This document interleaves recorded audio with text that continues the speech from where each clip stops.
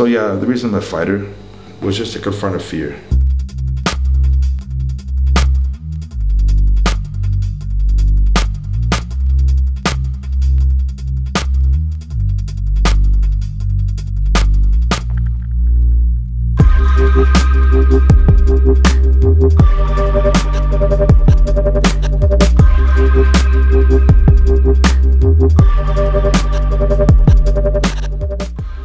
I had mentioned that I have a friend that is afraid of, of heights, but he's a mountain climber.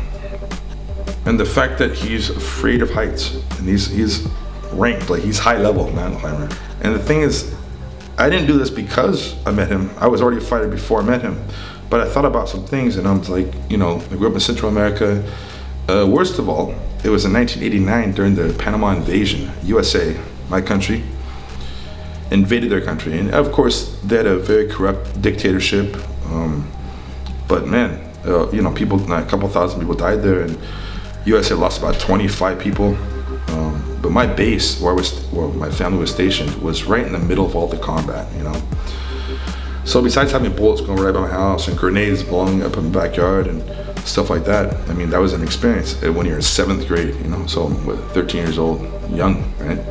But besides that, even worse, um, I was there for two years. I was in junior high. And junior high is one of those ages where, uh, especially boys, guys would, they start fighting harder. I mean, the punches actually can hurt you, they can break bones, and it's not like you're five years old, you know, where it's just a slap and the boy cries and it's over. I mean, these were all more serious situations I was getting into.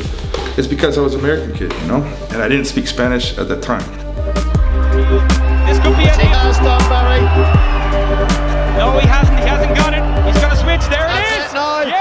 50-50 heel hook. And the fight is over. That is the most difficult fighter to compete against because He's tapping. Slow tribal choke there by Dean Lister. But in my case, I was the only little American white kid. Didn't speak Spanish, and I was small for my size. I was a little bit nerdy. I just was, you know. Um, yeah, man. And plus, uh, USA was invading their country. They hated me. I mean, I got in fights.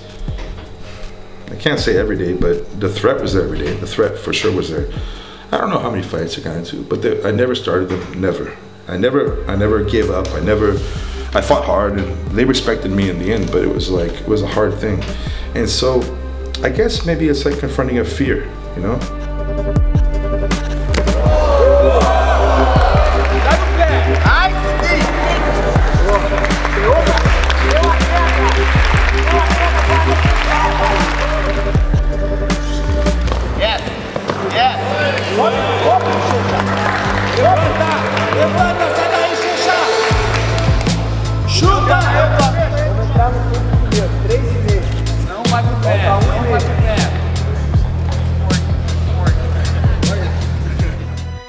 So I think the reason was just to confront a fear, you know, and uh, and I think if you don't ever confront your fear, a part of you just dies right away.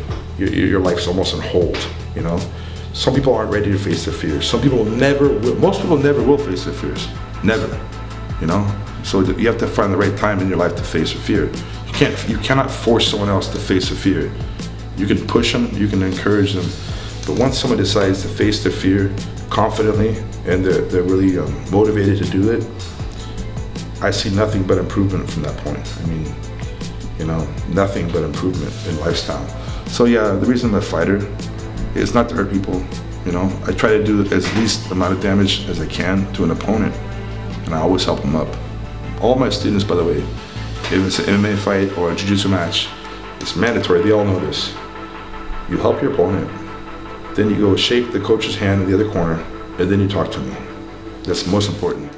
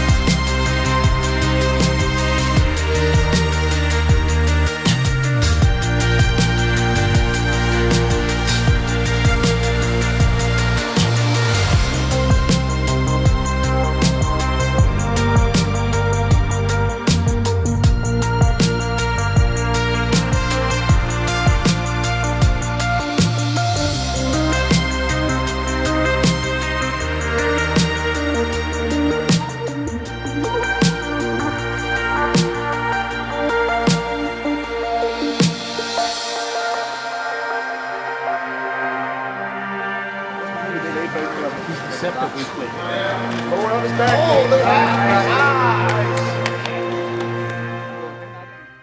Hello everyone, I just want to take a quick moment to thank the sponsor of my new video, xmartial.com. So please stay tuned to the end of the video to hear more.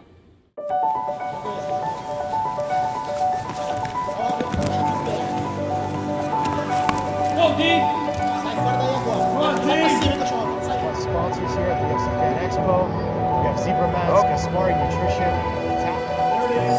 Yeah! Work it deep, quick! Come on, baby! Come on, baby!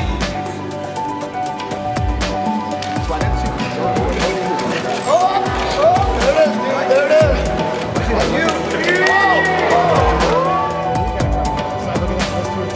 There we go. Here we go. Here we go. He's got that heel hook. Switching into a flip. Another. Look at Dean Lister fight for those feet.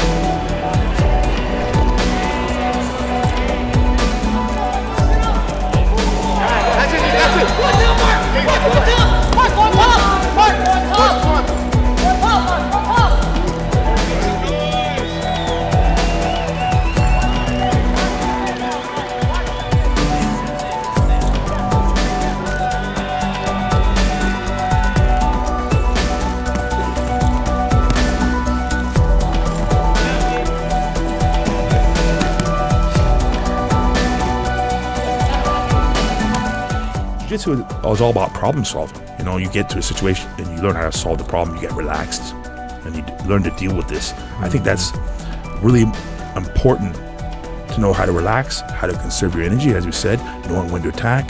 There's psyops. There's there's mental tactics. There's, uh, you know, you can tell a lot about a person uh, how they fight. You can see if they're dirty, if they take shortcuts, if they have a temper. You can see if they're patient. You can see if they're explosive. You can see if they're lackadaisical. Uh, lackadaisical. You can see a lot of things about someone if they're greedy, and also how they handle defeat and how they handle victory. Um, that's why I don't do it as an outward display, but every time I win against someone, I, I never run around yelling. I, I, I check on them, and if I was lose, I shake my opponent's hand. Uh, I'm not. There's nothing. I'm not saying anything admirable about that, but but that's something I always strive to be is someone that's respectful. And you can see as you said, humility is taught. And people don't like to be humbled, they're probably not going to last very long doing a martial art, especially jiu-jitsu, because it's such a close and personal, like you got owned. You can't lie in a fight.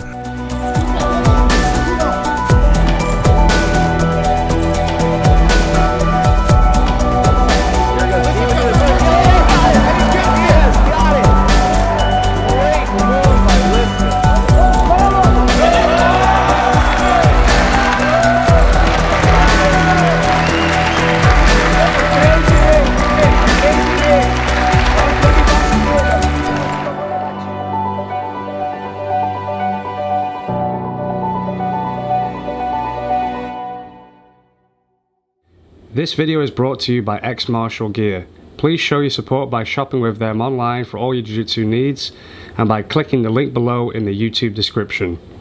They sell fun, top quality rash guards, shorts and other no-gi training gear for really good prices. So support this channel by visiting the link below or simply go to xmartial.com.